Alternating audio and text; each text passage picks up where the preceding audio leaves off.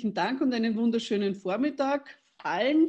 Ähm, ich darf alle herzlich begrüßen, äh, vor allem unsere Gastgeberin und unsere Referenten. Äh, unsere Gastgeberin ist heute Frau Marlene Mortler. Sie ist Agrar- und Ernährungspolitikerin der CSU im Europäischen Parlament, wo sie seit 2019 wirkt. Sie hat äh, auch zahlreiche Funktionen im Landwirtschaftssektor und im politischen Bereich bekleidet. Unter anderem war sie Agrar-, Ernährungs- und Umweltpolitische Sprecherin im Deutschen Bundestag. Äh, nun ist sie im Ausschuss für Landwirtschaft und ländliche Entwicklung äh, und wird, wie gesagt, äh, heute als Gastgeberin fungieren. Unsere Referenten sind aus mehreren Ländern. Ich darf herzlich begrüßen. Ich fange bei der Frau Alexandra Wolfram an. Frau Wolfram ist Beauftragte für Recht und Europa beim Deutschen Tourismusverband und kommt aus dem Deutschen Reiseverband, wo sie auch Europaagenten betreut hat. Weiters begrüße ich sehr herzlich ähm, den äh, Hans Embacher. Hans Embacher leitet seit fast 30 Jahren den Bundesverband Urlaub am Bauernhof Österreich und ist Vizepräsident des Europäischen Verbandes für Landtourismus.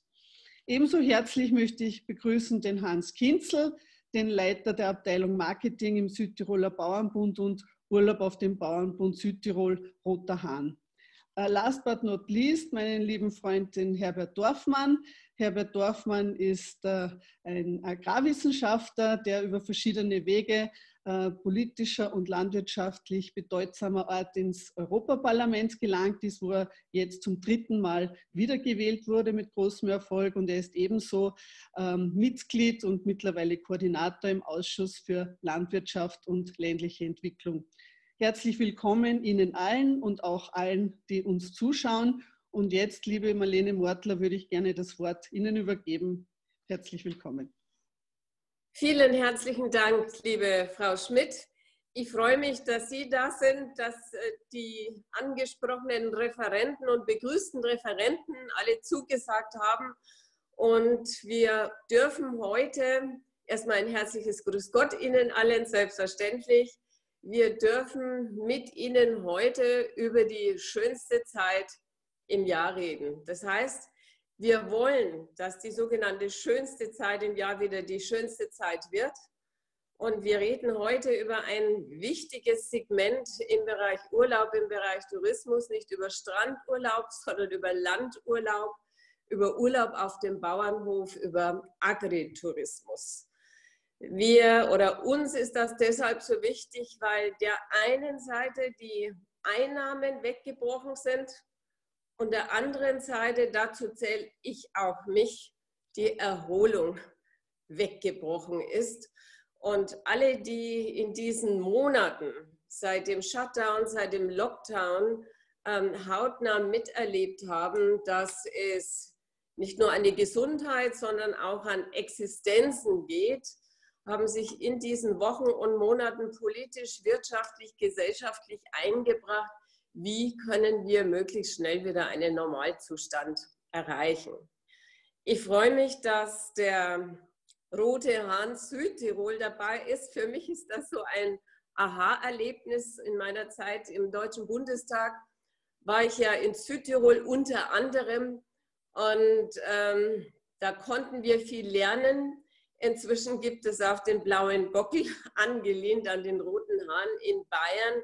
Und was für Bayern gilt, hier haben wir 4000 äh, Betriebe mit 50.000 Betten und hochgerechnet 37 äh, Millionen Euro Verluste bisher, weil Einnahmen in diesem Segment einfach weggebrochen sind. Deshalb ist es mir und uns heute wirklich ein Herzensanliegen, über ein Segment zu sprechen, das mit Stille, mit Natur, mit Ursprung, mit Kultur zu tun hat. Über ein Segment zu sprechen, wo wir wieder den Ursprung neu entdecken und erleben können. Und was mir als Bäuerin auch wichtig ist, dass äh, diese Art von Urlaub ähm, bietet, nämlich das Sehen, das Wachsen, das Ernten, das Verarbeiten aus erster Hand zu erleben.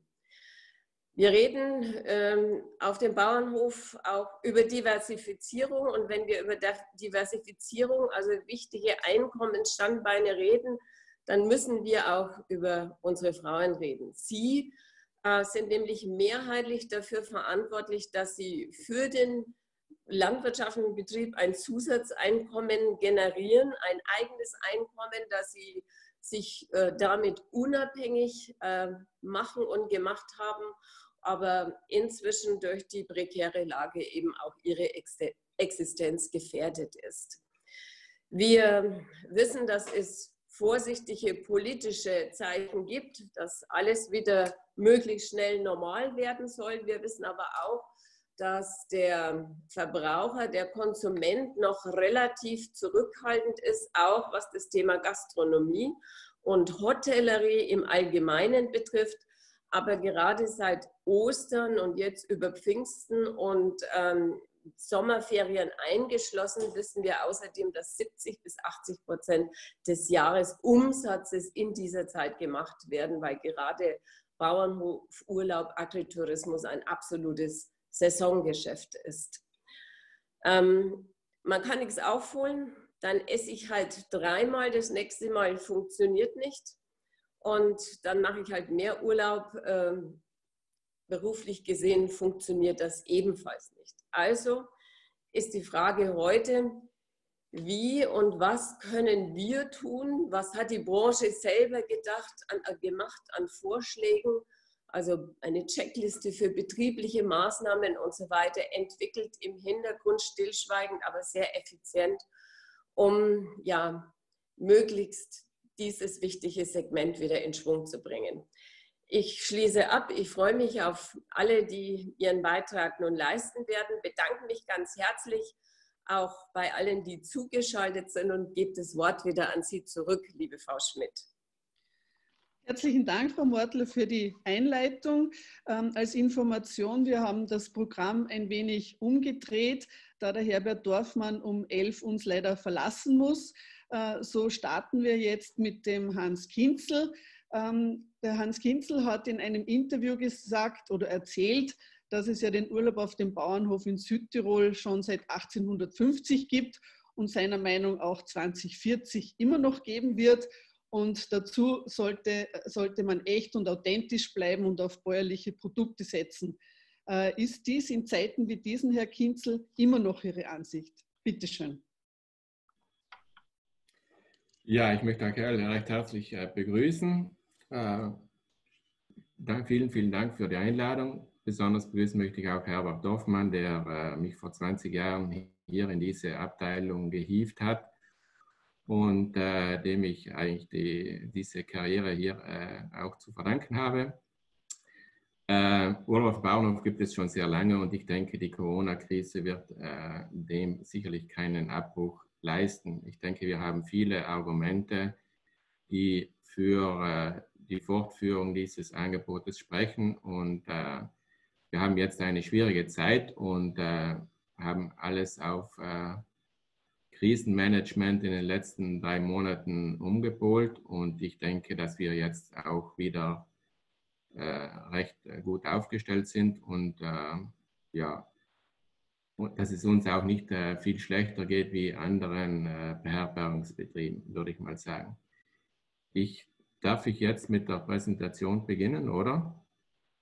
Ich habe kurz mal versucht, äh, ein paar Folien zusammenzustellen, wie die Situation derzeit bei uns ausschaut.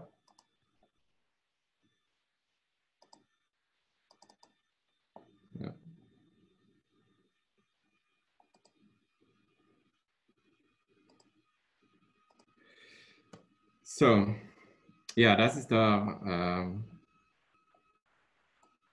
Rote Hahn. Äh, uns äh, zum, zur Marke Roter Hahn gehören die vier äh, Produktgruppen, Urlaub auf dem Bauernhof, bäuerliche Schankbetriebe, die Qualitätsprodukte und das bäuerliche Handwerk.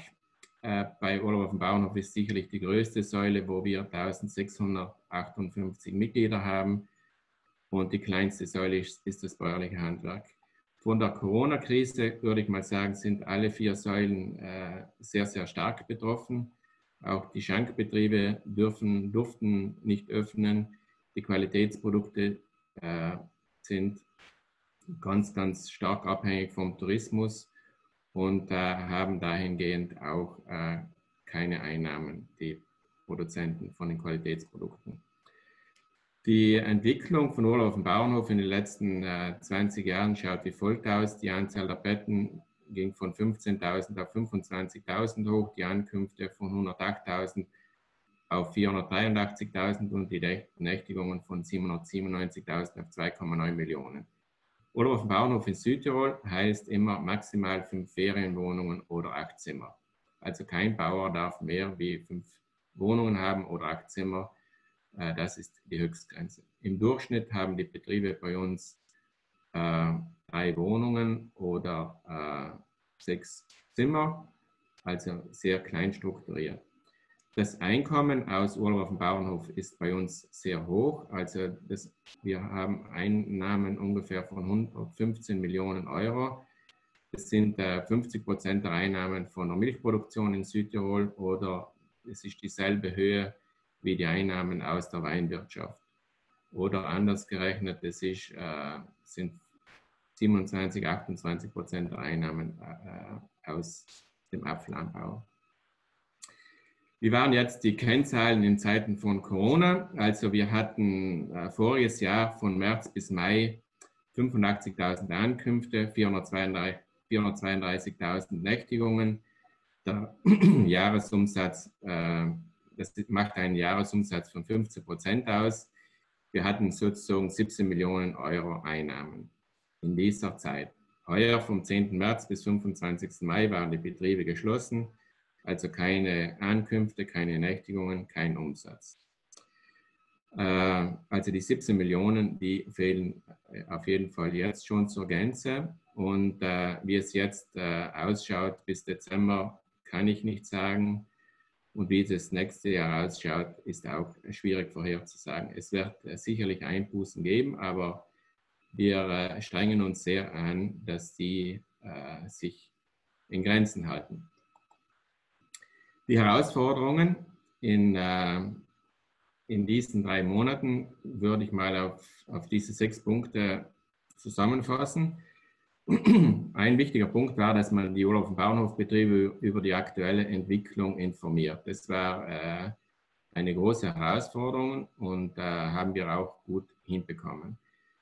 Der zweite Punkt war die, die akuten Liquiditätsengpässe. Die mussten unbedingt behoben werden. Der dritte Punkt, wie soll der Urlaub Bauernhofbetrieb mit den Gästen kommunizieren? Soll man kommunizieren? Wenn ja, wie soll man kommunizieren? Dann ein wichtiger Punkt war auch die Erarbeitung finanzieller Hilfen für die Urlaub Bauernhofbetriebe. Dann äh, in den letzten zwei, drei Wochen äh, gab es dann die ganzen Vorbereitungen zum Neustart der Bauernhofbetriebe und auch die Ausarbeitung gezielter roter Hahn-Marketingmaßnahmen, da sind wir jetzt mitten in der Umsetzung. Zum ersten Punkt, auf Bauernhofbetriebe über die aktuelle Entwicklung informieren.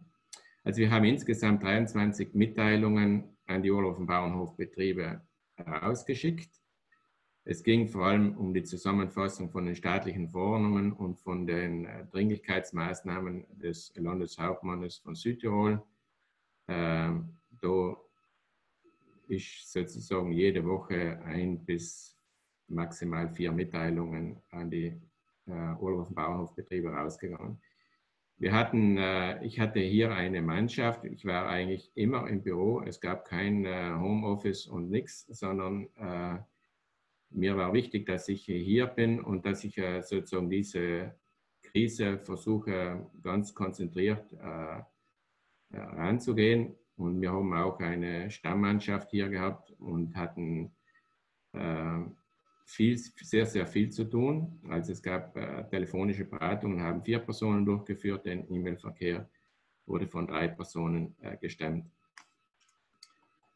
Dann die Liquiditätsengpässe beheben. Also es wurde in Südtirol ein Arbeitstisch von den Südtiroler Banken äh, einberufen und äh, es, wurde dann, es gab dann zwei Angebote, die Stundung der Kredite bis äh, zu zwölf Monate und die Verlängerung der Laufzeit der Kreditung bis zu 24 Monate. Diese Angebote haben die Urlaub- und Bauernhofbetriebe natürlich sehr, sehr stark angenommen und das war extrem wichtig für die Betriebe. Das Land Südtirol hat auch einen Überbrückungskredit bis 35.000 Euro angeboten, durch den Garantiefonds abgesichert. Und der Staat Italien hat auch einen zinslosen Kredit äh, bis 30.000 Euro angeboten, mit einem Gesamtvolumen von 30 Millionen Euro, das ungefähr 150 äh, Urlaub- und Bauernhofbetriebe in Südtirol angefragt haben. Wie soll man mit den, äh, wie soll der Urlaub- und Bauernhofbetrieb mit den Gästen kommunizieren? Dazu haben wir drei Mitteilungen an die Urlaub- und Bauernhofbetriebe verfasst. Einmal Ausarbeitung von einem Mustertext für Gäste bei Stornierungen, also Gäste, die storniert haben. Wie kommuniziert man mit diesen Gästen? Dann auch ein Mustertext für Gäste, die kommen möchten. Und äh, in, vor zwei, drei Wochen wurden auch die Mustertexte erfasst für die Gäste, die jetzt kommen, dass sie einfach Bescheid wissen, wie die Hygienevorschriften am Hof sind und wie die Sicherheit des Gastes garantiert wird. Gleichzeitig haben wir eine auch Newsletter an die Gäste geschickt oder an potenziell interessierte Urlaub- und Bauernhof Gäste in Südtirol. Äh, dazu haben wir eine Ostern-Newsletter verfasst, dann eine Newsletter zur Vorbereitung für den Neustart und einen zum Thema Sicherheit am Hof. Dann äh, gab es auch eine Anzahl von finanziellen Hilfen, die ausgearbeitet wurden, auch für die und Bauernhofbetriebe. Der Südtiroler Bauernbund hat äh, den Mitgliedsbeitrag nicht für die Marke Roter Hand, sondern generell die, den Mitgliedsbeitrag äh, für, den, äh, äh, für die Mitgliedschaft beim Südtiroler Bauernbund, der wurde für die Urlaub- und Bauernhofbetriebe und die Direktvermarktungsbetriebe halbiert. Und es wurde vom Südtiroler Bauernbund eine Beitrag, ein Betrag von 500.000 Euro zusätzlich fürs Marketing in den nächsten drei Jahren bereitgestellt. Dann gibt es eine eigene Landesförderung, einen Verlustbeitrag von 5.000 Euro pro Betrieb, für der ist dann an bestimmte Voraussetzungen geknüpft. Und es gab auch äh, nicht nur für die und Bauernhofbetriebe, sondern für viele eben die Stundung verschiedener Steuern, Kredite und Gebühren. Es gibt auch staatliche Förderungen, einen Inhaltbeitrag für, von 600 Euro für Bauernversicherte, also für äh, Leute, die also hauptberuflich Bauern sind. Und es gab jetzt auch einen Bonus, Steuerbonus für Urlaube, wo man noch nicht genau weiß, äh, wie das umgesetzt werden kann. Dann Vorbereitung für Neustart. Da haben wir zwei Mitteilungen an die Urlaub- und Bauernhofbetriebe rausgeschickt. Einmal Hygienerichtlinien für Urlaub und in Südtirol und dann Ausarbeitung von Mustertexten für die Hofmappen, wo auch die Hygienevorschriften am Hof drinnen sind und äh, wo auch kommuniziert wird, wie die Sicherheit des Gastes garantiert wird. Und äh, jetzt äh, ist die große Herausforderung auch die Ausarbeitung gezielter Marketingmaßnahmen. Also wir machen haben beschlossen, dass wir kostenlose Betriebsberatung für heuer und das nächste Jahr anbieten und dass wir vor allem in Internetkooperationen, Social Media Kampagne und in die Intensivierung der Pressearbeit investieren werden. So viel äh, mal äh, in Kürze das, was wir versucht haben hier aufzubauen. Und jetzt würde ich wieder den Bildschirm mache ich hier stoppen, oder? Ja, genau.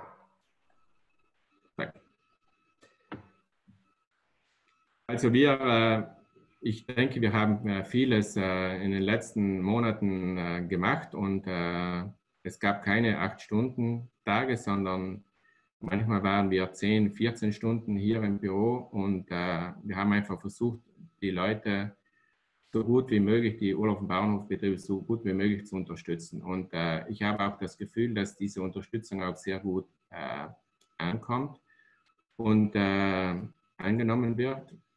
Als ein, ein, Beispiel ist auch, wir haben, wir machen ja jedes Jahr im, im äh, März, April machen wir die Aussendung, ob sie weiterhin Mitglied bei der Marke Roter Hand sein wollen oder nicht. Und ich hatte noch nie so wenige äh, also Betriebe, die aus der Marke ausgestiegen sind wie heuer. Es, gab, es waren ausschließlich diese 20 Betriebe, die die Tätigkeit einstellen, weil äh, sie äh, sozusagen zu alt sind und äh, den Betrieb nicht mehr so fortführen möchten. Aber äh, von unserer Marketingaktivität und von unserer, also sie fühlten sich, glaube ich, schon sehr gut aufgehoben. Das äh, ist eine Bestätigung, äh, die mich ja, glücklich geschätzt hat, glücklich gemacht. Möchten Sie, als ich hätte jetzt mal die erste Präsentation so abgeschlossen, sollte ich noch auf bestimmte Dinge eingehen oder machen wir das in der Diskussion? Ich würde vorschlagen, das machen wir in der Diskussion. Herzlichen Dank. Ähm, unsere Ministerin und ehemalige Kollegin äh, hat in einem Interview gesagt, der Gast soll sich bei uns wohlfühlen und der Gast soll sich bei uns sicher fühlen. Und die große Challenge für uns ist es, den Abstand und die Herzlichkeit zusammenzubringen. Herbert, the floor is yours.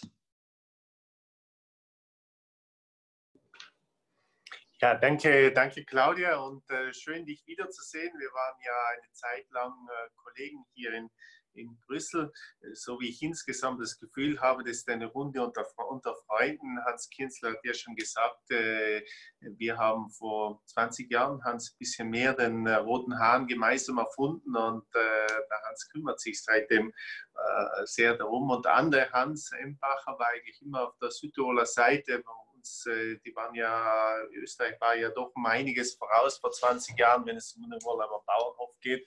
Und freut es auch, dass die, die Marlene da ist.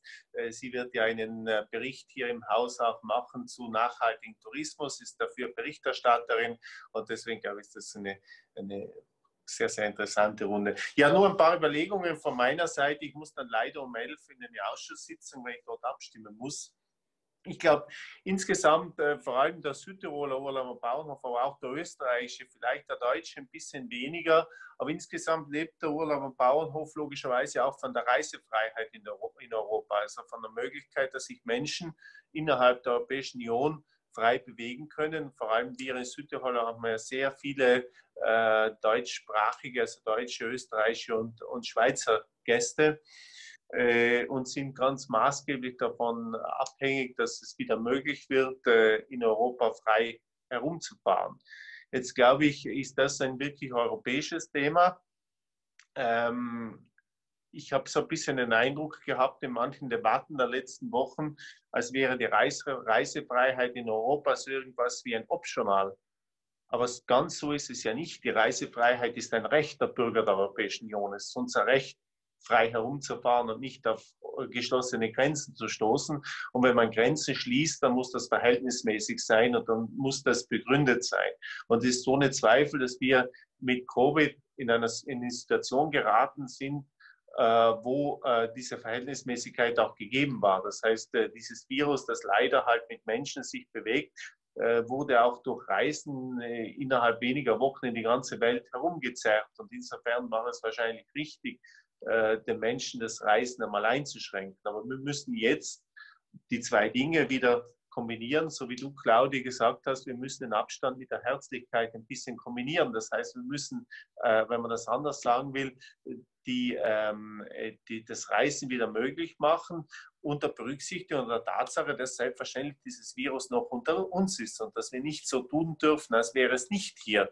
Ähm, aber ich denke, dass sich das Virus nicht von einer Staatsgrenze aufhalten lässt. Äh, ich denke, dass es nicht gefährlicher ist für mich, wenn ich in Südtirol wohne, äh, nach, nach Innsbruck zu fahren als nach Mailand zum Beispiel. Ich glaube sogar, dass es gefährlicher ist, nach Mailand zu fahren als nach Innsbruck. Äh, also was hat das mit Staatsgrenzen zu tun? Und ich denke, und da ist der Vorschlag, glaube ich, den die Europäische Kommission gemacht hat, vor zwei Wochen zu sagen, wir müssen das in Räumen sehen, nicht unbedingt in Staaten, sondern in Räumen sehen. Ich finde das der richtige Ansatz. Ich glaube, wir müssen jetzt uns Räume in Europa anschauen, wo die Infektionssituation äh, es zulässt, dass Grenzen wieder geöffnet werden. Und wir müssen aber gleichzeitig uns schon bewusst sein, dass es nach wie vor auch leider auch Räume gibt, wo es äh, nach wie vor nicht ganz so einfach ist und wo es wahrscheinlich auch nicht vernünftig ist, wenn die Menschen dort wegfahren oder Menschen dorthin fahren. Und äh, das ist besonders auch eine Challenge bei uns in Italien, wo wir halt leider noch solche Gebiete auch haben. Aber äh, man kann dafür nicht den ganzen Staat und alle Regionen im Staat in die Pflicht nehmen. Äh, wir haben inzwischen zum Glück in Südtirol äh, Infektionsdaten, die durchaus vergleichbar, zum Teil auch besser sind als in vielen anderen Gebieten in Europa. Das vorausgeschickt, denke ich, wenn es um Urlaub geht, jetzt insgesamt im Sommer, ähm, die Menschen werden Lust haben zu fahren. Die Menschen sind jetzt eine Zeit lang äh, bisschen, wenn man salopp sagen will, eingesperrt worden und sie haben Lust, sich wieder zu bewegen. Und Urlaub ist ja nicht eine Pflicht, Urlaub ist eine, äh, zu, zu, Urlaub braucht es Lust, also Menschen müssen äh, fahren wollen. Äh, ich glaube, sie wollen jetzt auch wieder sich bewegen.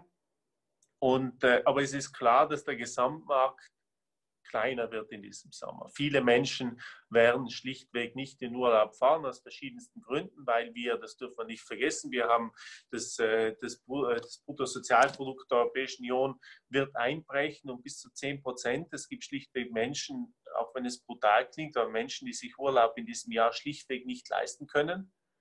Äh, es gibt Menschen, die ähm, im Neustart besonders gefordert sind, die also keinen Urlaub, keine freien Tage haben.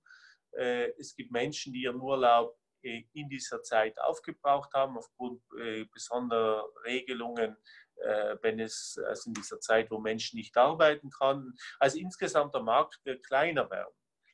Ähm, es ist aber auch so, dass viele Formen des Urlaubs, die wir gewohnt waren, schlichtweg nicht möglich sein werden das Kreuzfahrtschiff, das durch die Adria schippert mit 5000 Leuten drauf. Und diese 5000 Leute ergießen sich über Dubrovnik, um am Ende des Tages dann wieder aufs Kreuzfahrtschiff zu gehen und sie am nächsten Tag über Venedig zu ergießen und dann am Tag drauf über, über Triest. Das wird, schlichtweg, wird sich schlichtweg nicht spielen. Das wird nicht möglich sein. Ich glaube auch, dass manche Formen des Club- und Strandtourismus schlichtweg in dieser Form nicht möglich sein werden. Der Ballermann wird sich halt schwer spielen in diesem Jahr. Äh, erstens werden die Menschen nicht mittun wollen und zweitens sind, sind logisch alle äh, Regelungen in Sachen Abstand und, und Sicherheitsregeln dort schlichtweg nicht möglich. Und ich glaube, wenn man das sieht, dann muss man schon sagen, Urlaub am Bauernhof hat eine Chance. Ähm, äh, und die fange bei den Chancen an und komme dann auf die Gefahren oder die Herausforderungen, würde ich eher sagen, aber die hat der Hans Kienzl eigentlich schon äh, genannt. Ich glaube, die, die Chance ist, dass Urlaub am Bauernhof klein ist, übersichtlich, dass Menschen mit diesem klein und übersichtlich auch den Gedanken der Sicherheit verbinden, dass viele Menschen in diesem Sommer wahrscheinlich keine Lust haben, in Strukturen zu gehen, wo sich sehr viele Menschen aufhalten, wo es notgedrungen äh, zu sehr vielen Begegnungen kommt, sondern dass Menschen eher tendenziell eher dorthin gehen wollen, wo die Dinge übersichtlich sind, wo die Dinge äh, klein sind, wo man nicht so vielen Menschen begegnet und wo sich dennoch frei bewegen können. Also dass diese Idee des freien, des großen Raumes eines Bauernhofes und der wenigen Wohnungen, die dort sind, dass das vielleicht durchaus auch ein Angebot ist, das in diesem Sommer ganz besonders attraktiv äh, sein, sein, sein äh, wird. Und das, glaube ich, ist die große Chance, die wir jetzt in den nächsten äh, Wochen und Monaten haben. Die große Herausforderung ist, den Menschen äh, dieses äh, ein, ein, ein, eine, ein, ein, ein sicheres Gefühl der Sicherheit, entschuldige den doppelten das Doppelspiel, das doppelte Wortspiel. Ähm, ich glaube, äh, nur weil es ein Bauernhof ist, ist er noch lange nicht sicher. Ähm, ich glaube schon, und das hat der Hans Kirzel gerade gesagt, dass der Urlaub am Bauernhof jetzt gefordert ist, äh, nicht nur zu sagen, wir sind klein und wir sind sicher, sondern effektiv auch etwas dafür zu tun. Das heißt, äh, durch ganz klare Sicherheitsprotokolle, die dann auch kommuniziert werden und die den Gästen auch gesagt werden, ähm, den, den Gästen darzustellen, dass eben dieser Raum sicher gestaltet wird, dass es also sanitäre Maßnahmen gibt, dass es äh, ein ganz klares Protokoll gibt, wo die Gäste auch das Gefühl haben, äh, hier wird alles getan, damit ich äh, in Sicherheit dort wohnen kann, äh, dass äh, ich keine Angst haben muss, dass meine Kinder, äh, die sich dort bewegen, keine Angst haben müssen.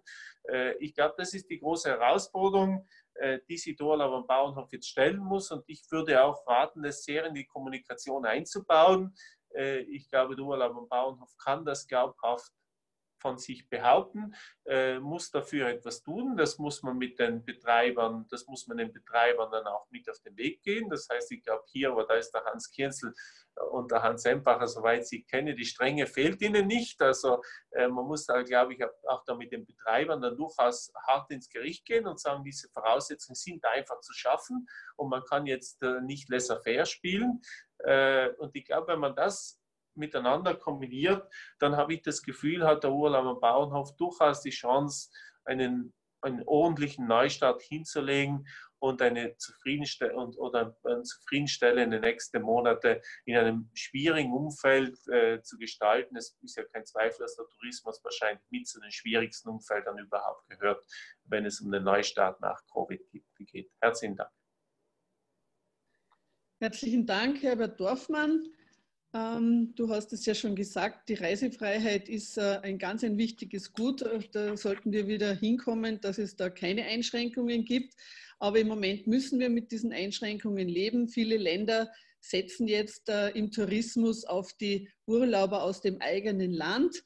Ähm, wir, ich bin eine Österreicherin, also wir Österreicher ähm, setzen auch auf deutsche Touristen.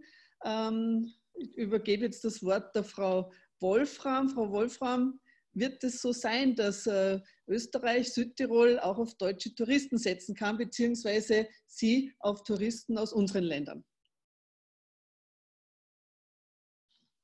Moment. Genau. Vielen Dank, ähm, Frau Schmidt. Ähm, äh, auch für diese Frage. Ich habe natürlich äh, nicht den Blick äh, in die Glaskugel äh, gewagt, sondern ähm, vernehme Signale äh, aus unserer Bundesregierung. Ähm, das ähm, geht ja darum, dass die äh, derzeit noch geltende weltweite Reisewarnung, die eben auch für alle Länder in Europa gilt, aufgehoben werden soll. Ähm, da ist die Rede von Mitte Juni. das ist jetzt nochmal ähm, die Entscheidung darüber im Bundeskabinett ist vertagt worden. Ähm, natürlich hoffen wir nach wie vor, dass es ähm, im Sommer äh, möglich sein wird zu reisen, ähm, zumindest innerhalb Europas. Ähm, ich finde das auch ähm, sehr, sehr wichtig, was äh, der Abgeordnete Herr Dorfmann gesagt hat. Die Reisefreiheit äh, ist ein hohes Gut. Ähm, es sind Eingriffe in unsere Grundrechte, die jetzt äh, in vielfältiger äh, Ebene und auf vielfältige Weise stattfinden, die auch wichtig sind, um die Pandemie zu begrenzen. Aber wenn es jetzt an die Lockerung geht, dann ähm, sind die Lockerungen eben auch ähm, ausgewogen und verhältnismäßig vorzunehmen. Und äh, da ist es völlig richtig, dass äh, ähm, die nicht unbedingt zwischen den Landesgrenzen die Unterschiede so bestehen und die Risiken, sondern möglicherweise eben regional oder ähm, also örtlich begrenzte Risiken bestehen. Ähm, ähm, wir hoffen natürlich auch, also in Deutschland haben wir die Vorbereitung insofern getroffen, dass Gäste zu uns kommen können, äh, dass die äh, Quarantäneregelungen, die für Einreisen nach Deutschland bis vor kurzem galten, jetzt äh, aufgehoben wurden. Und zwar, soweit ich das überblicken kann, in allen Bundesländern. Sie wissen, wir sind föderal strukturiert. Jedes Bundesland entscheidet selbst über die Regeln.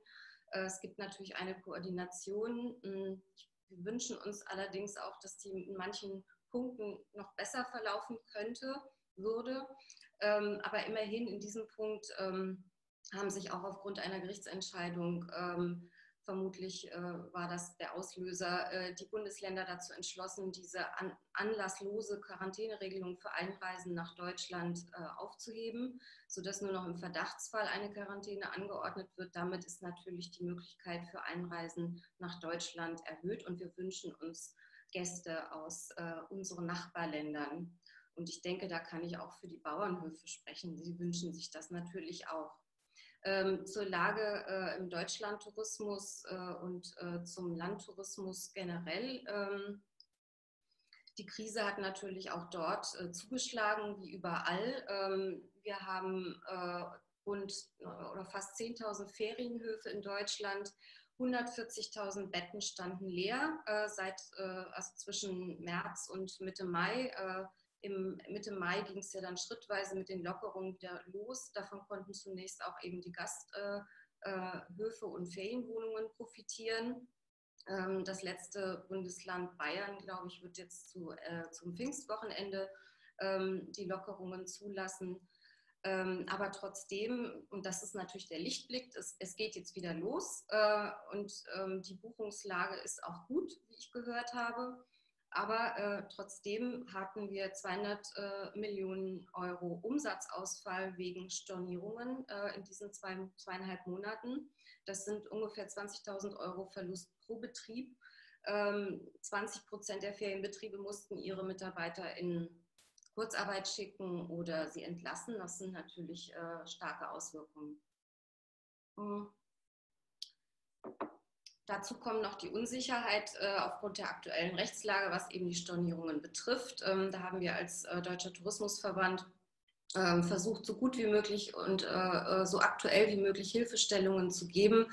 Äh, die Nachfragen waren riesengroß, wie man jetzt verfahren muss wir haben deshalb auch auf unserer Homepage da Hilfestellungen veröffentlicht äh, und beantworten. Also am Anfang der Krise waren wir sozusagen ein Callcenter hier und ähm, haben die zahlreichen Anfragen beantwortet und damit hoffentlich auch ein wenig Orientierung geben können, wie man in dieser Situation äh, miteinander umgeht. Immer in dem, mit dem Hinweis, dass es natürlich einerseits die Rechtslage gibt. Ähm, äh, auf der anderen Seite natürlich allen Seiten daran gelegen sein sollte, sich gütlich zu einigen. Das gilt auch weiterhin, denn auch wenn es jetzt Lockerungen gibt, gibt es nach wie vor Einschränkungen. Es gibt regionale Unterschiede von Bundesland zu Bundesland. Äh, und es ist natürlich auch nicht ausgeschlossen, dass es ähm, in einigen Punkten wieder zu Beschränkungen kommen kann, wenn die, äh, wenn die Infektionsraten wieder ansteigen, was wir alle natürlich nicht hoffen. Aber äh, insofern ähm, ist es auch nach wie vor wichtig, dass beide Seiten Verständnis äh, füreinander haben. Aber wie Frau Mortler natürlich richtig sagte, Urlaub kann man nur bedingt verschieben ähm, und auch nur bedingt nachholen. Die Leute möchten in der schönen Zeit reisen und sich erholen und haben das jetzt auch bitter nötig. Ähm, was die Regeln angeht, das hatte ich ja schon angesprochen, es gibt äh, Unterschiede auch innerhalb Deutschlands. Ähm, die gibt es natürlich oder vermutlich äh, dann jetzt auch in Europa. Wir wünschen uns äh, ganz besonders stark natürlich, dass es einheitliche Regeln gibt. Das ist wahrscheinlich ein, naja, also ein sehr optimistischer Wunsch. Äh, aber es wäre schön, wenn sich äh, vielleicht doch ähm, da auch die die Mitgliedstaaten untereinander irgendwie einigen könnten. Die Europäische Union, äh, die Kommission hat ja schon äh, Hilfestellungen gegeben und äh, das wäre, das ist auch, auch sehr hilfreich.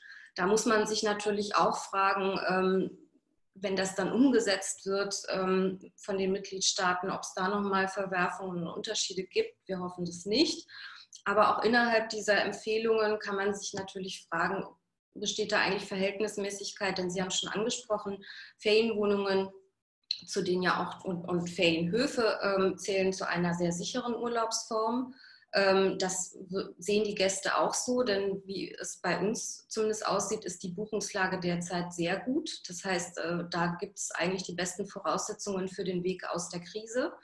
Ähm, aber ähm, natürlich ist es schon so, wenn es Regelungen gibt, die äh, sehr streng sind für das Gastgewerbe, auch was die Hygieneregeln äh, betrifft, was richtig ist, also man muss das machen, aber dann kann man sich auf der anderen Seite fragen, warum können Flugzeuge voll besetzt fliegen, wenn die Buchungslage äh, dem äh, entspricht und ähm, ohne, ohne vernünftige Schutzmasken, ne? nur mit allgemeinen ähm, Haushaltsmasken. Also ich denke, da gibt es durchaus, also ich meine, ist natürlich klar, äh, ähm, der Flug, äh, die Flugreisen sind ein, auch ein wichtiger Bereich. Trotzdem innerhalb der, ähm, der verschiedenen Verkehrsträger und touristischen Angebote sollte man auch auf eine Ausgewogenheit der Regelungen achten und nicht in einem Bereich, wo ähm, in der Ferienwohnung treffen sich äh, wenige Leute, machen zusammen Urlaub. Das ist sehr überschaubar. In einem großen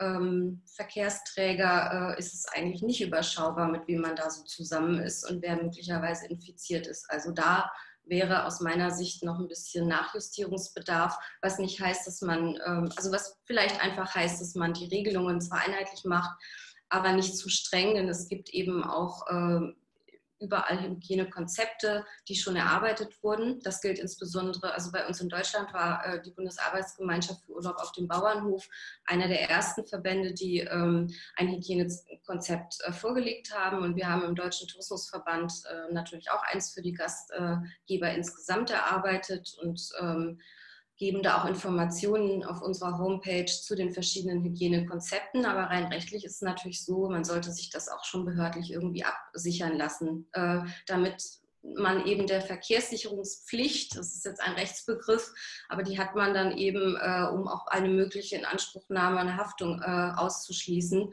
wenn Gäste dann möglicherweise sagen, sie haben sich in der Ferienwohnung infiziert, kann man ja nicht ausschließen.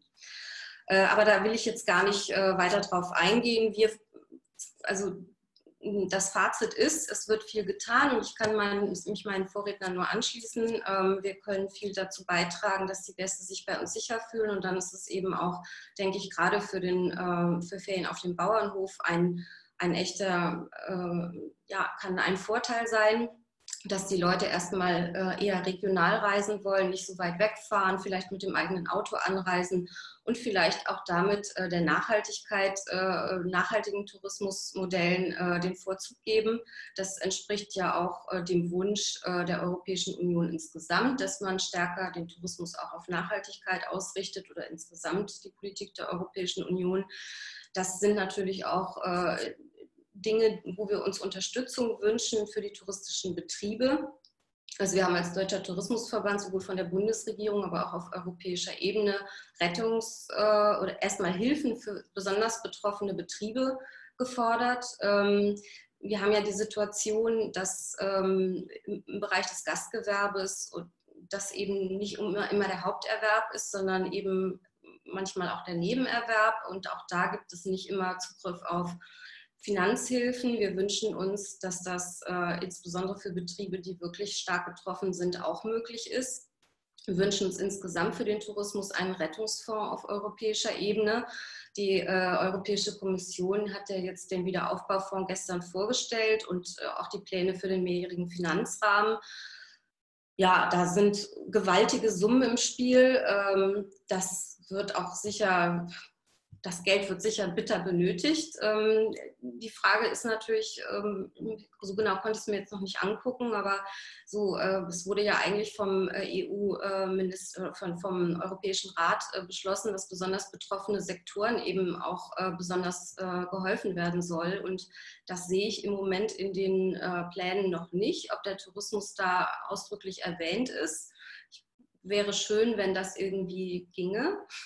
Und es wäre auch schön, wenn im Rahmen des mehrjährigen äh, Finanzrahmens, äh, dessen Verhandlungen ja jetzt anstehen, vielleicht auch die Instrumente für, den, für die Tourismusförderung insgesamt gebündelt werden könnten. Denn äh, wir stehen jetzt vor der Situation, dass natürlich überall gespart werden muss. Und in Deutschland ist es eben so, das ist föderal strukturiert. Der Tourismus ist eine freiwillige Aufgabe. Wir haben die Tourismusvereine, die brauchen Finanzierungen. Wir haben die ganzen Akteure, die brauchen Finanzierungen und bekommen sie auch, aber aus eben ganz unterschiedlichen Töpfen und eine Klarstellung auch vielleicht in den europäischen äh, Fonds wäre, wäre ganz schön, wenn man da mal einen Topf hätte, der wirklich explizit für den Tourismus ist. Also das wäre vielleicht noch ein Wunsch. So, und damit komme ich erstmal zum Schluss und alles weitere vielleicht dann im Nachgang in der Diskussion. Vielen lieben Dank. Also das, was ich so gehört habe, ist, wir bieten nicht nur Service für den Gast, sondern auch Service für die Gastgeber. Ähm, und die Aussichten oder die Prognose ist so vorsichtig optimistisch. Ähm, Hans Einbacher, ist das so?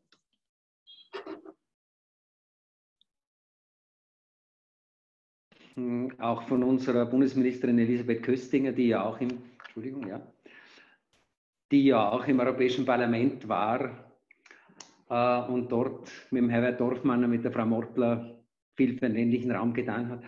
Auch einen herzlichen Dank an die Frau Mortler und den Herrn Dorfmann. Es freut uns sehr, dass Sie sich auf europäischer Ebene auch Gedanken über den Agrartourismus machen. Ist super für unsere Urlaubsform. Vielen Dank. Äh, ja, Urlaub am Bauernhof und Corona in Österreich. Äh, wovon reden wir? In Österreich haben wir ungefähr 9900 Betriebe, die Urlaub am Bauernhof anbieten. Mit ungefähr 114.000 Gästebetten. Das ist alles. Ähm, Im Verband haben wir ungefähr 2200 Betriebe, also grob ein Viertel. Die Krise hat uns hart getroffen. Die Wintersaison ist vor allem in den westlichen Bundesländern abgebrochen worden. In Tirol, Vorarlberg, Salzburg am 16. März und dann in ganz Österreich ab 4. April. Und dann war alles geschlossen bis heute. Also morgen ist der erste Tag, dass die Unterkünfte wieder aufgehen. Ähm, wir haben recht gute Zahlen von den Mitgliedern, nicht von allen Anbietern, aber von den Mitgliedern. Die haben im Winter zehn Vollbelegstage verloren durch die Krise, jetzt aufgrund der Statistik gegenüber den Vorwintern. Das heißt, sie sind von ungefähr 50 auf 40 Belegstage im Winter gefallen. Äh, wenn man das jetzt umrechnet, nur im Verband, äh, die Nächtigungen und die Tagesausgaben der Gäste, dann ist nur im Winter, da reden wir jetzt nur von der Wintersaison und von diesen Bundesländern, ähm, sind Tagesausgaben in den ländlichen Regionen von ungefähr 20 Millionen Euro verloren gegangen. Und wenn man jetzt sieht, dass die Mitglieder etwa ein Viertel sind, dann reden wir von 80 Millionen äh, Ausgaben in den ländlichen Regionen, die durch diesen Abbruch der Saison verloren gegangen sind. Ähm, wir haben in Österreich versucht, den Betrieben zu helfen. Es gibt den sogenannten Härtefallfonds. Äh, dort sind pro Betrieb pro Monat maximal 2000 Euro Entschädigung möglich, je nach Umsatz und Schaden. Auch Zusatzeinkommen wird auch eingerechnet und das maximal für drei Monate. Also insgesamt 6000 Euro Entschädigung sind möglich. Dabei wurden 500 oder 1000 Euro sehr schnell in einer Phase 1 ausgezahlt. Das hat zwei, drei Tage gedauert und die Leute hatten das Geld. Das war super. Die Phase 2 ist nicht mehr ganz so lustig. Da dauert es jetzt zwei Monate und die Leute werden unruhig. Die Geschichte ist hochsensibel sozusagen. Wenn man mal kommuniziert hat, es geht sehr schnell, dann erwartet jeder auch schnell das Geld auf dem Konto äh, und, und, wird dann unruhig, wenn es nicht so ist. Das sind so Begleiterscheinungen. Ähm, wir haben auch gerade in den westlichen Bundesländern einige Betriebe so analysiert, was haben sie denn für einen Schaden. Äh, wir haben da im Schnitt äh, herausgefunden, es ist eine Größenordnung von ungefähr 10.000 Euro. Das ist jetzt der Zeitraum, den wir mal angeschaut haben für drei Monate, März bis Mai, was es den Betrieb im Schnitt an Umsatz kostet. Ähm, wie geht es jetzt weiter? Äh, derzeit großer Fokus auf die österreichischen Gäste. Da haben wir als Erste gewusst, die dürfen wieder reisen und dürfen auch in unsere Häuser kommen, eben ab morgen, ab 29. Mai. Ähm, da konzentrieren wir unser Marketing drauf, auch die Österreich-Werbung und die Bundesländer. Also da sehen wir großes Interesse. In den ersten zwei Wochen haben wir gleich 8000 konkrete Anfragen gehabt also es funktioniert. Man muss aber sehr aufpassen und da gibt es auch recht eine gute Abstimmung zwischen Österreich-Werbung, Ländern und uns als kleiner Gruppe. Da muss man sehr aufpassen, dass man sich nicht gegenseitig konkurrenziert. Jetzt wollen ja alle um die gleichen Gäste werben. Und ich darf Ihnen nur ein kleines Beispiel geben, was das bedeutet.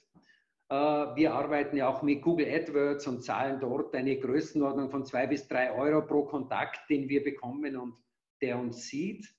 Und meine Kollegin hat mir gesagt, letzte Woche für den Begriff Ferienwohnung und Österreich waren die Kosten für einen Kontakt 47 Euro. Also wir haben das selbstverständlich nicht mehr bezahlt. Aber Tatsache ist, alle Touristiker wollen das gut machen und werben mit großer Begeisterung, aber wirklich verdienen tun damit große Konzerne, die praktisch von diesem Wettbewerb leben. Wir glauben auch, dass wir neue Gäste bekommen werden, die vielleicht jetzt nicht weiter wegfahren heuer im Sommer. Da sehen wir auch Chancen, äh, gerade für unsere Betriebe, dass sie wieder Stammgäste gewinnen. Es hat durchaus auch positive Seiten, denen wir diesen Bauernhof und, und das Erlebnis dort näher bringen können.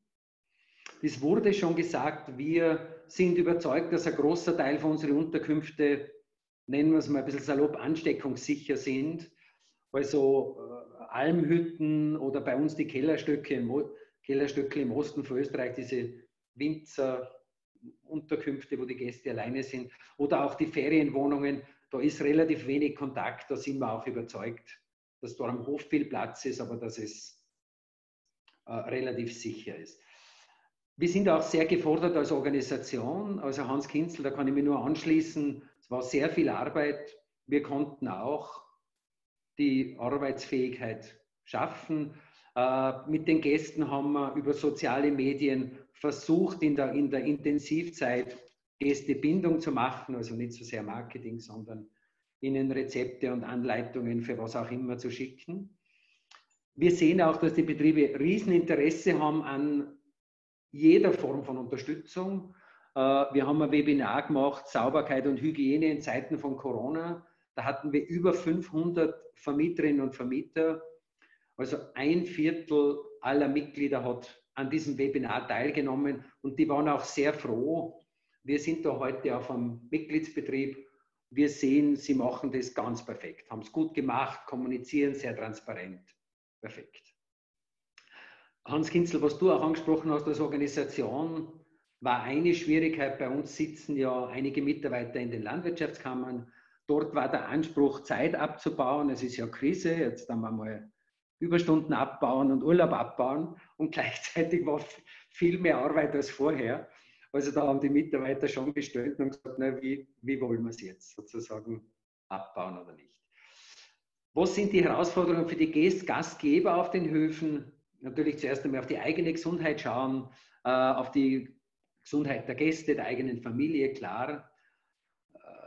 Auch viel kommunizieren mit den Gästen. Da versuchen wir sie, wie immer es geht, zu unterstützen. Wir sagen, es braucht viel Transparenz.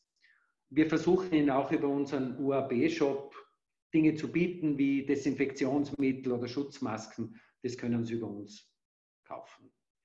Also Betrieben versuchen wir zu helfen, sie nach Möglichkeit zu unterstützen.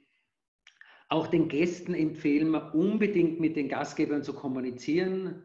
Ein großes Thema ist dort Storno. Äh, da gibt es ganz unterschiedliche Erwartungen. Die Gäste sagen, es ist ja Krise, es wird doch jeder verstehen, wenn ich am letzten Tag storniere und keine Stornogebühren zahlen möchte, weil es ist ja Corona, eh klar. Gleichzeitig leben die Familien von diesem Einkommen und es hat oft existenzielle Auswirkungen. Also hier gibt es einfach unterschiedliche Erwartungen und da haben wir ganz oft gesagt, bitte möglichst viel kommunizieren und abstimmen, wie kann man es denn gescheit machen. Auch wir sehen, dass die Kommunikation wichtig ist. Heute Nachmittag freue ich mich schon, haben wir einen Erfahrungsaustausch mit den äh, Kolleginnen, in dem Fall aus Bayern, mit den Kollegen aus der Schweiz, mit Südtirol, Hans Kinzel, mit dir, dass wir auch da trotz lustvollen Wettbewerb gut im Kontakt sind und unsere Dinge abstimmen. Ja, Herbert Dorfmann hat schon erwähnt, wir glauben auch, dass wir längerfristig gerade mit den kleinen Betrieben gute Chancen haben. Wir haben Platz, wir haben ein schönes äh, Erlebnisangebot ähm, und, und haben viele Unterkunftsformen, die auch äh, infektionssicher sind, nennen wir es mal so grundsätzlich glauben wir auf längere Sicht, dass sich bei den längerfristigen Trends im Reise- und Gästeverhalten der Klimawandel stärker auswirken wird als das Corona. Also wir glauben schon auch, dass diese kurzen Städtetrips, dass das keine nachhaltige Form ist, äh, dieses mal schnell auf einen Café irgendwo hinfliegen. Äh, und da glauben wir einfach, dass wir mit Urlaub am Bauernhof gute Chancen haben. Und ein Trend, den wir auch sehen, an den wir auch in Zukunft glauben, dass immer mehr Leute in die nähere, wie Sie sagen, in die nähere Distanz auf einen Urlaub fahren. Also wir sehen in Österreich, dass 15, 20 Prozent der Urlauber auf den Bauernhöfen aus dem eigenen Bundesland kommen. Also die fahren gar nicht weit, die fahren 40, 50 Kilometer und machen dort Urlaub. Derzeit haben sie nur den Nachteil, sobald das Wetter schlecht ist, stornieren sie. Also hat immer auch einen Unsicherheitsfaktor, weil sie fast daheim sind. Ja, äh, Wünsche an Europäisches Parlament, EU. Wunsch wäre, großer Wunsch wäre von uns, dass in der neuen GAP Voraussetzungen für Verbände geschaffen werden, dass dort Unterstützung gibt. Wir sehen, dass es sehr gute Marktchancen gibt, aber die kleinen Betriebe brauchen irgendeine Zusammenarbeit. Die brauchen einen Verband, und das sage ich jetzt nicht nur, weil ich dafür gezahlt werde, sondern es geht nur miteinander. Also wir sehen, diese 2000 Betriebe schaffen richtig viel miteinander. Alleine hätten sie keine Chance.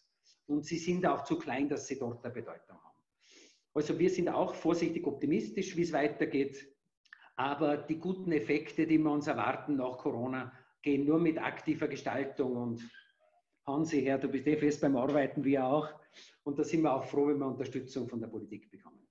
Ja, so viel fürs Erste aus Österreich. Vielen Dank. Und wir freuen uns auf eine Diskussion. Herzlichen Dank, Herr Embacher. Der ähm, Kollege Dorfmann hat Sie leider schon verabschieden ähm, müssen.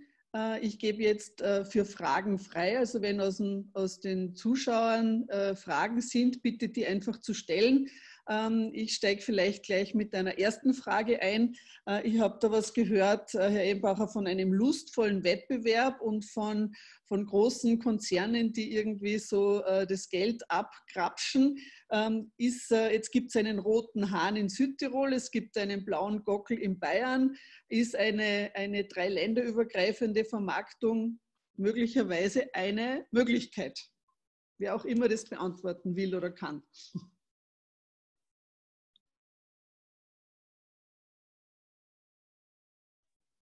Hans, sag ich zuerst, was passt das, oder? Äh, ja, wir sind zwischen diesen Ländern, also äh, nochmal Bayern, Südtirol, äh, Schweiz und wir, in sehr freundschaftlichen Austausch. Äh, wir sagen, was wir tun. Äh, gemeinsames Marketing haben wir bis jetzt noch nicht gemacht. Vielleicht reden wir heute Nachmittag drüber. Äh, es ist auch klar, dass wir uns um die gleichen Gäste bemühen. Das habe ich auch gemeint mit lustvoller Wettbewerb. Also die drei sind uns die liebsten Konkurrenten, auch wenn man das nicht so sagen darf natürlich heute. Äh, nur wir sehen insgesamt, ist der Markt groß genug. Also in Deutschland sagen so viele Leute, es würde in der Bauernaufurlaub gefallen äh, und von denen macht es dann effektiv nur ein kleiner Teil. Also ähm, da haben wir alle noch ausreichend Spielraum, äh, dass, dass alle gut funktionieren. Danke. Vielleicht der Herr Kitzel. Hans, was sagst du jetzt? ja, ich denke, äh, wir haben ja vor zwei Jahren den Weltkongress organisiert und äh, aus, auch aus einer bestimmten Absicht heraus. Ich denke, je, je hochwertiger Urlaub auf dem Bauernhof äh, sich äh, positioniert und, und je je breiter wir uns aufstellen, je mehr wir zusammenarbeiten und je, je toller das Produkturlaub auf dem Bauernhof in ganz Europa angeboten wird und weltweit, umso stärker werden wir.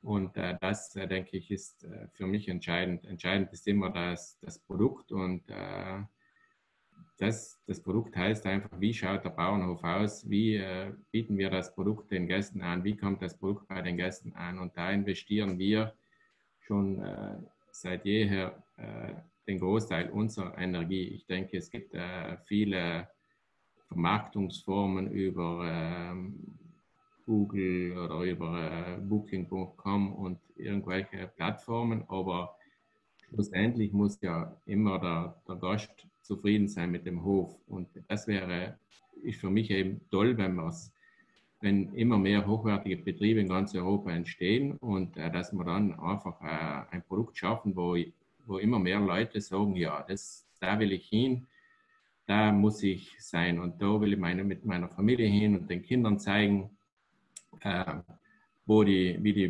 Produkte erzeugt werden, äh, woher die Milch kommt und woher die rote Beete kommt und so weiter. Also ich denke, das, das schaffen wir auch für die Gesellschaft einen großen Dienst, weil immer weniger Leute auch äh, wissen, wo die landwirtschaftlichen Produkte herkommen und äh, dass sie auch dort wieder eintauchen können. Und äh, das ist mir ein großes Anliegen. Und ich denke, wenn wir in diese Richtung gehen, dann glaube ich, äh, können wir Großes schaffen in den nächsten 20 Jahren. Entschuldigung, Frau Schmidt, ich weiß nicht, ob man mich noch hört. Zum Thema Wettbewerb noch ein Satz. Sie merken schon, wir streiten uns nicht mit Südtirol. Ähm, diesen äh, Agrartourismus, ländlichen Tourismus gibt es ja in ganz Europa und den Europäischen Verband Euroschit mit dem Generalsekretär Klaus Ehrlich, der als Deutscher in Spanien sitzt und sich dort wärmt. Äh, in fast allen Ländern in Europa ist der Agrartourismus sogenannter Domestic Tourism. Also die meisten Gäste auf den Bauernhöfen kommen aus dem eigenen Land. Das ist so in Deutschland, das ist so in Frankreich, in Spanien, in Italien. Äh, also der Wettbewerb spielt sich auch viel im eigenen Land ab. Wir sind da ein bisschen Ausnahme. Bei uns sind 60 Prozent der Nächtigungen aus Deutschland und 30 aus Österreich, weil einfach für uns der deutschsprachige Raum sehr nahe ist und sehr vertraut ist. Aber sonst ist Agrartourismus in fast ganz Europa zum größten Teil Domestic Tourism. Frau Wolfram, wollen Sie etwas zu einer gemeinsamen Vermarktung noch sagen?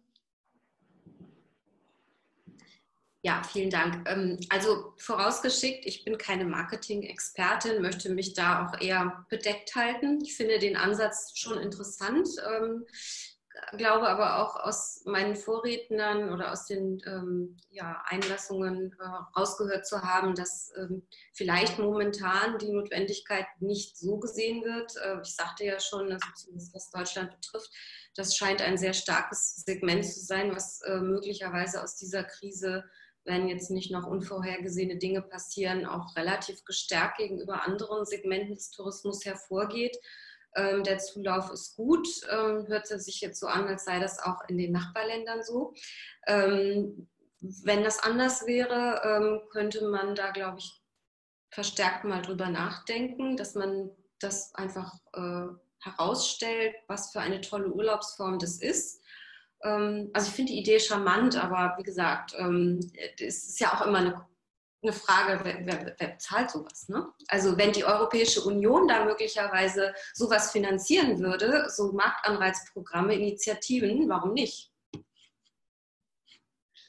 Ja, herzlichen Dank. Ähm, ich habe keine weiteren Fragen.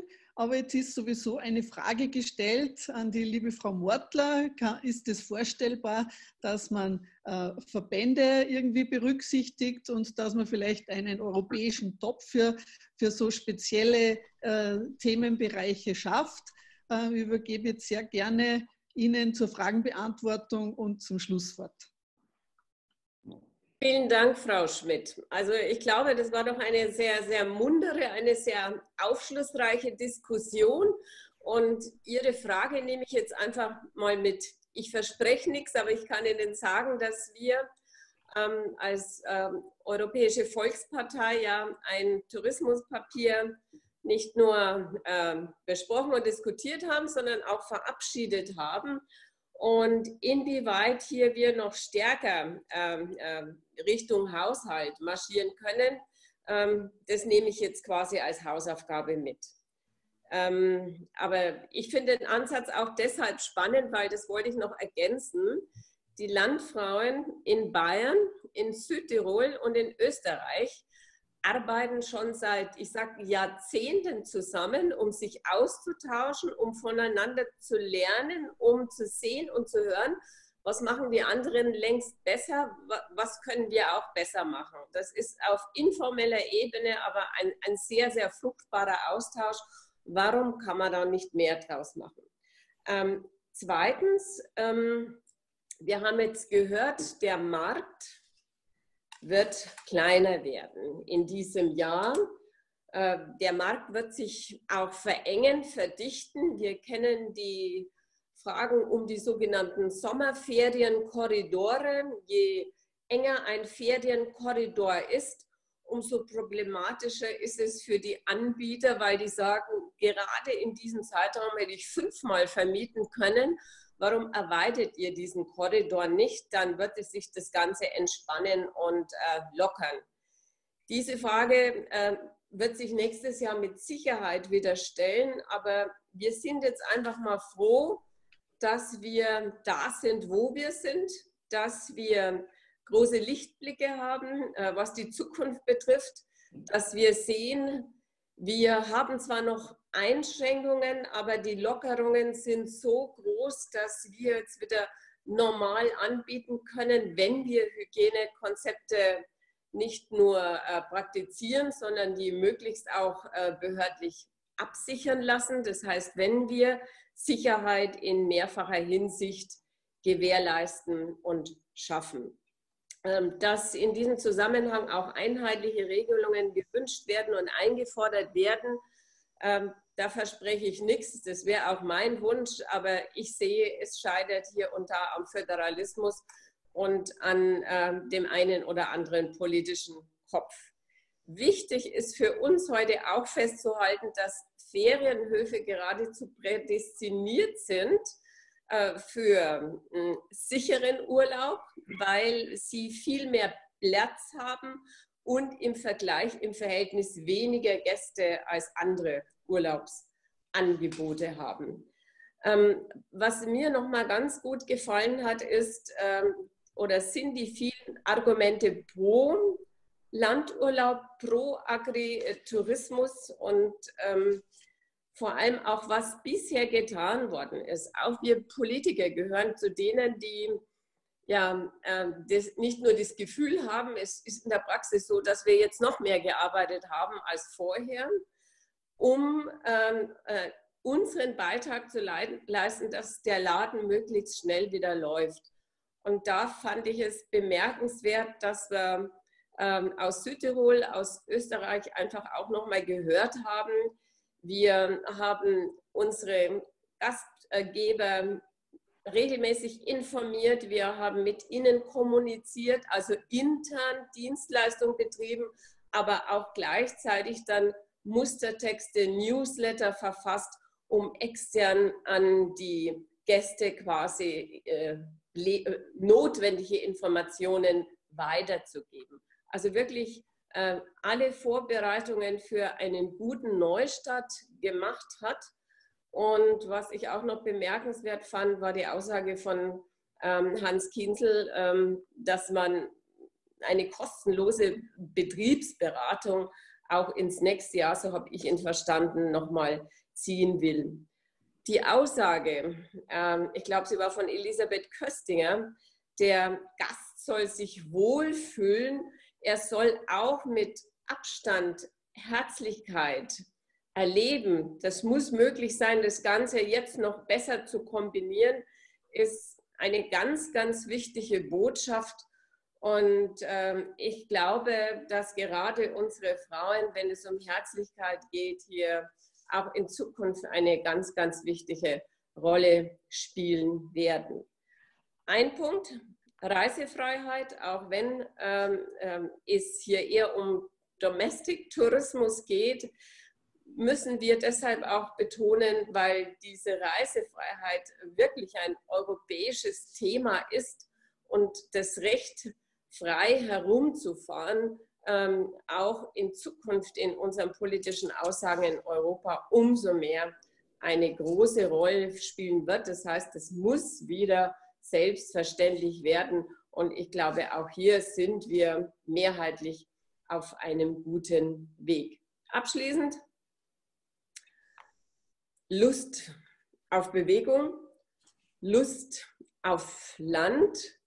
Wir haben jetzt eine einmalige Chance im Zusammenhang mit Green Deal, im Zusammenhang mit Farm to Fork, ähm, Urlaub auf dem Bauernhof, Agritourismus als den nachhaltigen Tourismus schlechthin zu platzieren und ähm, in, die, in den Köpfen der Menschen, der Politik, aber auch der Urlauber zu verankern. Ich glaube, es gibt keine bessere Form, jetzt und in Zukunft nachhaltigen Urlaub äh, zu machen. In diesem Sinn an Sie ein herzliches Dankeschön, liebe Frau Schmidt, falls jetzt doch noch Fragen reinkommen. Wir sind gut in der Zeit, sind wir natürlich noch da, stehen wir zur Verfügung.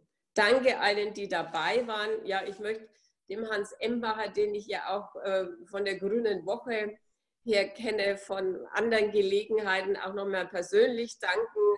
Frau Wolfram durch meine Berliner Tätigkeit im Bereich Tourismus, aber auch dem Hans Kinzel und dem Herbert Dorfmann in Abwesenheit gefühlt kennen wir uns schon seit Jahrzehnten und äh, das zeigt ja auch, dass diese äh, persönliche Verbindung auch dazu beiträgt, ähm, dass es immer besser ist, miteinander zu reden, als übereinander zu reden, um unser wirkliches Herzensanliegen hier noch besser zu platzieren. Dankeschön. Frau Schmidt und Ihnen natürlich, äh, die die Fäden gezogen und geleitet haben. Ähm, und man hat auch gemerkt, äh, es ist Ihr Thema, es, es macht Ihnen auch viel Freude, dass Sie hier weiter aktiv mit dabei sind. Herzlichen Dank, Frau Mortler. Natürlich ist das so. Und ich glaube, Ihren Schlussworten ist nichts hinzuzufügen. Ähm, ich darf mich auch bei allen noch einmal ganz herzlich bedanken und wünsche den zwei Herren äh, für den Nachmittag eine lustvolle Diskussion.